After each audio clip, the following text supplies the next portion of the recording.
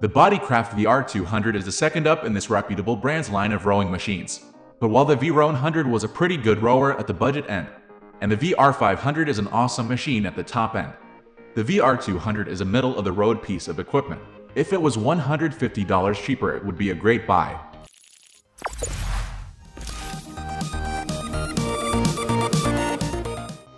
But when it's pitched directly against the undisputed market leader from Concept2, then has to be something special to tempt buyers.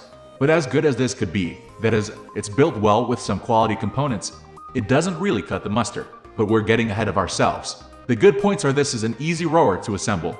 Took just under 30 minutes without the need to be an expert at do-it-yourself. The frame is sturdy and the aluminum beam allows for a smooth and quiet ride.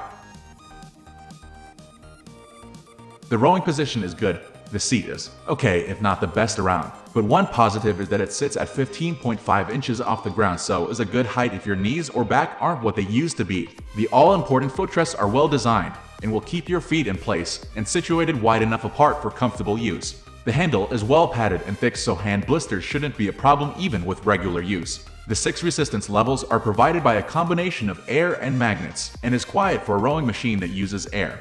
However, the resistance level is selected manually by turning a knob in the central column which means you have to stop rowing if you wish to alter the setting. This isn't a deal breaker for most because you can raise your heart rate by increasing stroke rate anyway plus it's a myth that the highest resistance levels deliver the best results. The console slash display. The console is a big letdown in our view. You'd expect more from a rowing machine costing this much. Yes, it displays all the data you would such as time rowed, distance in meters, calories burned, time over 500 m, number of strokes, and strokes per minute. SPM. The LCD screen is large enough to read easily when working out, and it's pretty easy to use. But it's not compatible with a heart rate monitor so heart rate training is a non-starter. It has no PC compatible or online features where much of the competition now boasts this excellent feature that helps with motivation.